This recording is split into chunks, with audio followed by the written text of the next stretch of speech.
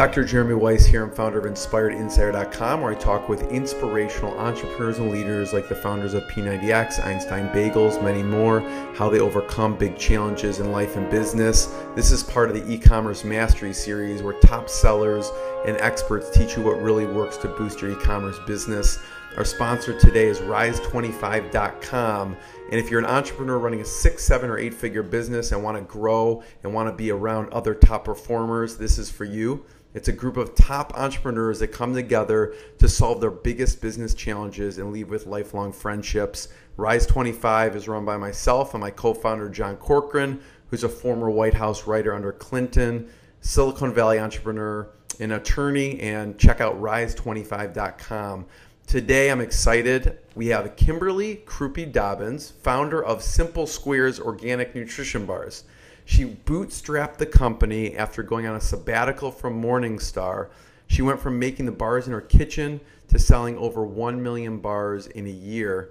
And they're sold in they're sold in Whole Foods, Starbucks, and many more. Kimberly, thanks for joining me.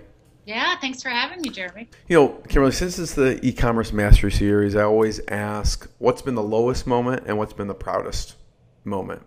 Okay. What's been the lowest moment and how you pushed through? I think the lowest moment for me, because it was before we got started, was the the leaking of the packages. Yeah. The, um, you know, you, you have all this momentum. That's painful. Years in the making, yeah, and then you're thinking, is this all going to fall apart right now before I even launch? what do you think happened there? Because you, it's not like you had made a lot of different bars, and that hadn't happened before. What, what do you think it was? It was more in our uh, process of how we were actually laying out the bars. Um, so yeah, all part of the extrusion. Wow, because it also makes me think. Well, did was it maybe the packaging, or was definitely the bar at the time? Were you thinking anything else was the problem? No, it was definitely the ingredients. You knew, yeah. Yeah.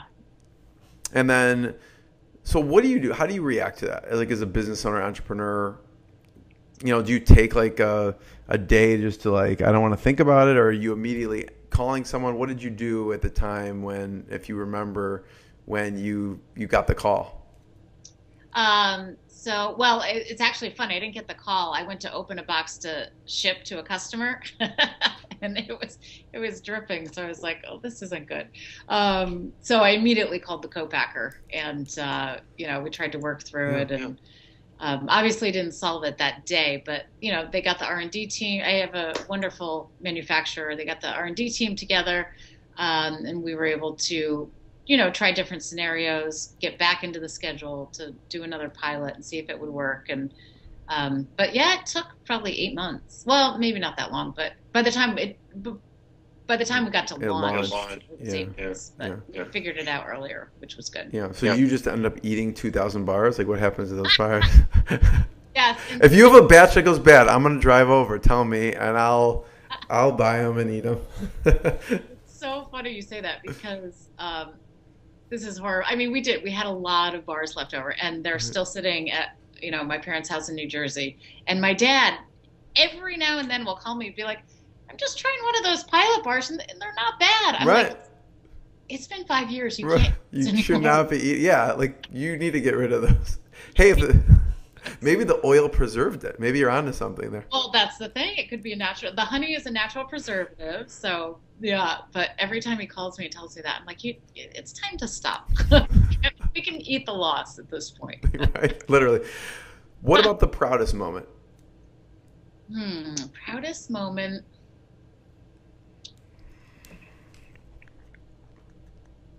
That's a great question. Um, the proudest moment. I would say.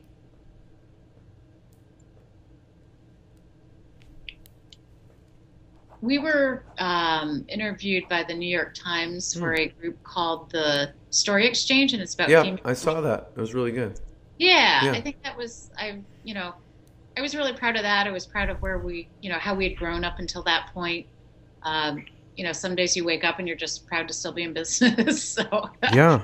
but um, yeah, I think working with the Story Exchange and the New York Times was a um, a proud moment. What did it feel like, though? I don't know who you got the call from about Starbucks. How did you find out about that? Oh, it's so embarrassing. Um, we were at Natural Products Expo West, and this uh, the buyer I didn't know it was the buyer, but the buyer comes up to me and she's like, Kimberly, hey, and I was like, oh, I must know her, you know. So I leaned in, I gave her a big kiss, and uh, she's like, hey, I'm, you know, so and so, the buyer for Starbucks. I was like, oh my gosh, I'm more. That's what got you in. That's a good thing. Let's hope so. But yeah, um, so we found out there, and uh, yeah, we've kind of been working. You mean she just went up to you after they had placed the order, telling you she was the buyer, or what? No, it was just to say we've decided um, that we Oh. move forward. Yeah. Wow. Yeah. So, you know, it was just that first initial. But again, I, she was so friendly and I thought she knew me. And I'm, you know, a very um, passionate person. And so I gave her, you know, a big hug. And then she told me who she was. And Yeah. I, I think I was about three shades of purple. How does that feel though? She comes up to you, and this is, you know, what, six years in the making. Um, yeah. Well, we, I, uh, I need to go back and look when we first initially touched base with them. Yeah. But um, yeah, it, it was a, it was a great feeling. And it was very unexpected. So um, we were thrilled. Yeah. So what else? What is uh? What should we leave people with? Let's see. So for people starting their own businesses, again, I think it goes back to you know, bottom line is going to be numbers. Have a really solid plan in place for not only um, you know the growth of your company, but also how you're going to finance it. Um, Yeah. I was fortunate enough to be able to bootstrap for four years, and then we uh, took on investment last year. Oh wow! Congratulations. How do you decide to take on investment or not? Just you're Uh, growing so quickly. I, I think it's to keep up with scale, Yeah. and you know, in order for us to be able to continue and just work on cash flows um, and be able to look at new product development, I think you can either go. It doesn't have to be one of two ways, but the two most popular routes are going to be grow it slower and organically, and don't take on investors, or pedal to the metal. You know, we're going to ramp it up. Sure. Um, and it's, it's different for every business. yeah. So Yeah. say definitely that, and then again going back to kind of being persistent and not shutting down when people close the door on you, because there will be several of those, and yeah, riding riding the wave. Kimberly, thank you so much. Hugely valuable. Everyone should check out simplesquares.com. I appreciate it. Thank you. Thank you so much. Have a great day.